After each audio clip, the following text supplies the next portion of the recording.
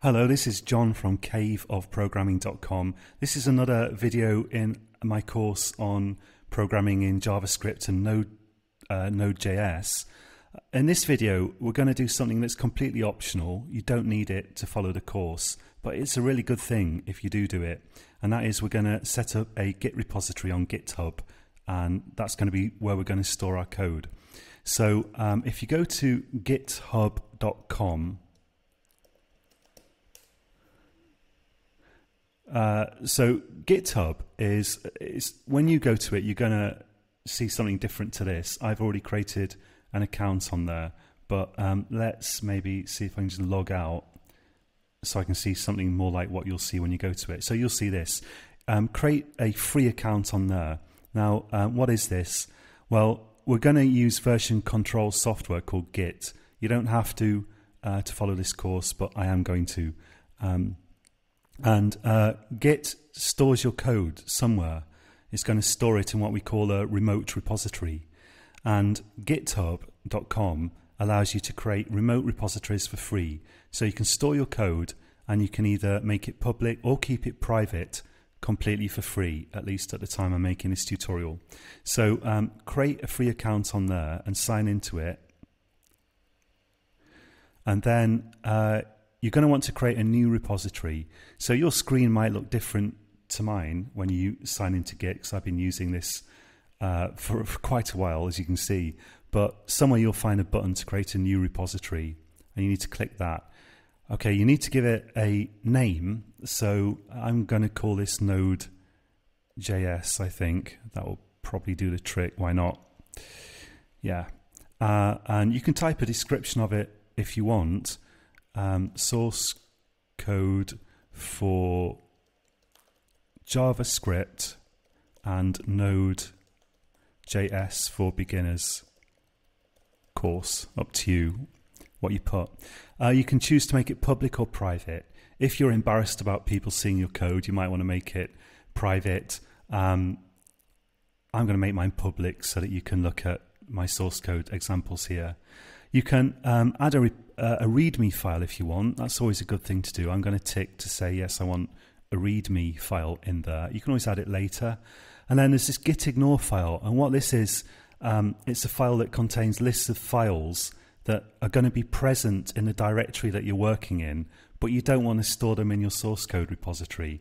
And there are various um, standard gitignore files that we can use here. I don't know if there is one for JavaScript. Nah, I don't know. I thought there was actually. Yeah, there's one for Node look. So if you search for Node um, and select that, that's a good one. Uh, license, you can change that as well. I'll, I'll use the MIT license, which, as far as I understand, means anyone can use my source code for anything. I'm not sure if they even have to attribute attribute me, but I don't care here. Uh, you can use my source code f- for this course as you see fit. And then when you've done all that and decided on all that, just click Create Repository. And this doesn't usually take long. Here we go. So um, this is a source code repository, uh, which um, we're going to check code into as we go along. Now, I'm going to click this clone or download button and I'm going to just copy this, um, this URL here. And I'm going to go to my terminal. Now, we can actually do this, I believe, from within Visual Studio Code. I haven't looked up how to do that, but to do what I'm about to do, you don't have to use the command line. You can use a variety of tools uh, that you know Git user interfaces, but I'm just going to do it on the command line. Here I'm using a Bash terminal. So if you're using a Windows console instead, you want to probably spend a, a little bit, just a little bit of time, just checking how to use that sort of basic usage of it. Um, Windows the Windows console by default will tell you where you where you are. It says like C colon slash whatever. It, it tells you where you are in the directory structure, and you're going to need to just understand the directory structure thing to follow this course, you know, but that's just basic sort of computing. If you've played with a computer for a while, you'll know what a directory is and so on.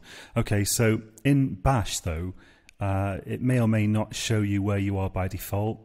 You can find out by doing pwd. So if you are using Bash, uh, you can type pwd and it'll tell you where you're located in the directory structure. To change directories in Bash, I think it's the same in Windows. You just do cd space and uh, the directory that you want to change into. Um, you always need that space in Bash though. I think Windows lets you do cd dot dot to go to the directory above, but that doesn't work in Bash. You need cd space dot dot. Pretty similar, really. That's change directory. Uh, so if you play with that for a bit, you'll get used to it. So I can go to the directory above. Um, in Windows, I do dir if I remember rightly to see what's in here. In in a Bash terminal, I can do whether it's on Windows or not. I can do ls, shows me where I am, and I'm just gonna change into this directory here. On Bash, usually you can use tab as well to autocomplete um, directory or file names. All right. So anyway, I'm in I'm in a directory where I'm uh, I want to put my work, and I've got Git working in here, so I can use Git. If I type Git, it actually does something, and I want to do Git clone clone and then paste in that URL. Hit return, and this is going to take my remote repository and basically um, create a local version of it. So if I do ls now or um, dir, I suppose dir, I suppose it will be in Windows Console. Now I can see that it's created this Node.js directory. It's called Node.js because that's what I just called it on GitHub.com when I created that repository. I can cd into this change directory and do ls or dir or whatever, and um, you can see what files are in it at the moment. This is where I'm going to be creating my source code. So we'll create source code in the next video, I think, and we'll also look at how to check it into Git. Okay, so until next time, happy coding.